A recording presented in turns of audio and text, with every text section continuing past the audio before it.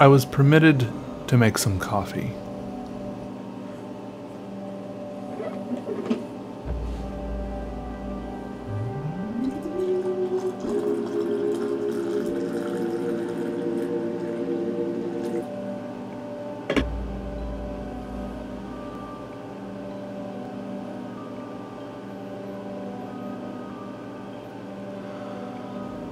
Then I proceeded to prepare my art making space, which pretty much consisted of clearing out a bunch of other art clutter materials and just a bunch of pretty much just a bunch of junk that had built up there since the last time I'd made uh, art there, and I put up a, some bulletin board paper, which is what I used here today, just plain white. I put on a pair of jeans and I was just too hot so I shortened the jeans into short pants. Jants, I call them. Wait, Jord, Jordan. Anyways, I was much cooler afterwards. And then today I used some Sumi ink and then just some sort of bamboo brush. I think I bought like a three pack for three or four dollars, so it's pretty much a one dollar brush. I think in the future I might use a more expensive brush just because I don't know, there was something about it I didn't like that I think maybe the performance might increase, might it might perform better if I spend more money on it, but maybe not. As you can see here in this video, I I'm pretty happy with with the result. And I mean, I I don't know. Some things are better when they're cheaper. Just simple, straightforward. You know, a good big pen, just a banana.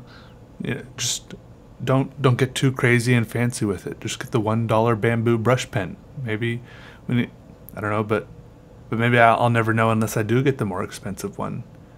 Anyways, so that I, I just got my Waffle House mug, squirted the ink in there, and uh, these bottles of ink are like uh, ten dollars and I used less than one bottle to cover these whole uh, two big sheets of paper in this big old doodle.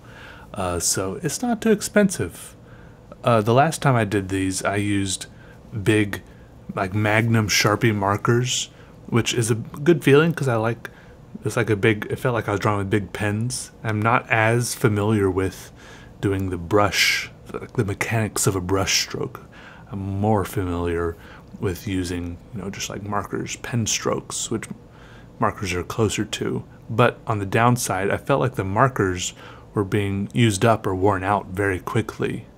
And the markers are, those big Magnum Sharpies, uh, they're really expensive. And I feel like the, the ink goes farther. And it's also much darker. And uh, I don't know, it just felt like I, it was just much more it's much more satisfying to use the ink, like the Sumi ink with the brush. I think maybe sometimes, has anyone else found this to be true that when you use those Magnum Sharpies, uh, like you use them, Sharpies or markers in general, sometimes you're like coloring on paper for a while, uh, you're like scribbling away and it looks like it's starting to get worn out, like it's, the, the, the ink is getting, it's fading.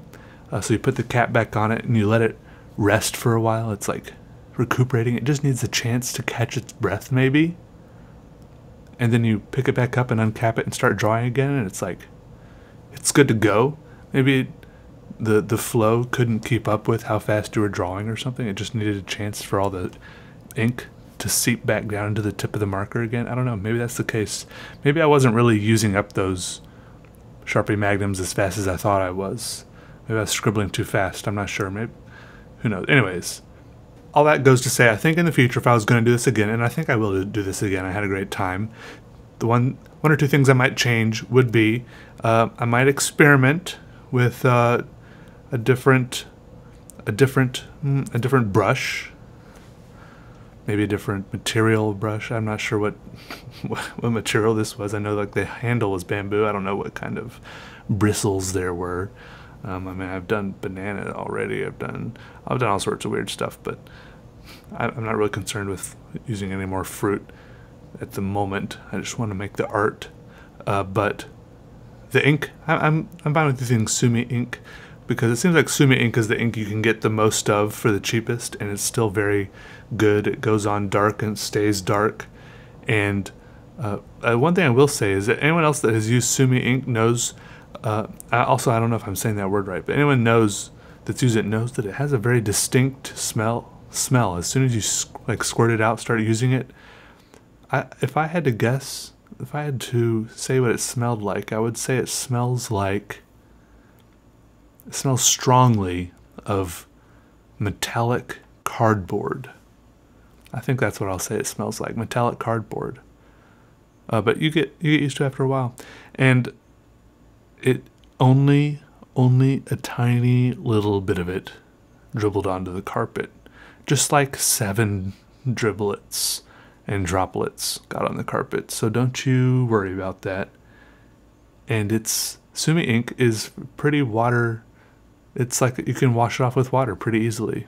So I should probably do that sometime. Probably the sooner the better. I mean, I filled up. I filled up these those uh those. I mean, I filled up that same Waffle House mug to almost to the brim and running over with the that ink before, and I left it in there for months and then when I came, I, I just like pretty much rinsed it out with water before, and it was spotless, not a not a stain to be seen from that ink. But you put it on paper, and uh, well, I guess maybe it's just not water resistant. So I wonder if you took a piece of paper and put ink on it, could you put the piece of paper underwater and like rinse the ink out of the paper? Or does it like bond with the paper fibers somehow? Or nah? I don't know i don't know. I should, I should try that sometime but with some maybe with some paper that holds up to water well and doesn't just fall apart. I don't know. One day one day i will get my certificate in ink science i'll be a, i'll be a downright ink scientist but for now i just have some small amount of street smarts and ex- personal firsthand experience just a little bit. I feel like I don't have as much as I should have, but I'll take what I've got. Anyways, when I'm done with this, uh, I'll probably leave these up on the these little walls. I'm pretty much I've, I've got this paper stapled to these movable walls that came in my apartment. It's supposed to divide like rooms up, uh, like so you can either have one big room or two smaller rooms. Uh, the floor plans, these apartments, they have. Look, there's two floor plans they sell. They sell a two bedroom floor plan, or is it, or it one bedroom? There's two bedrooms. Oh, wait, I'm not explaining this well. There's a two bedroom they sell that is the same exact square footage as a one bedroom, where the other bedroom is they just mark it as a den.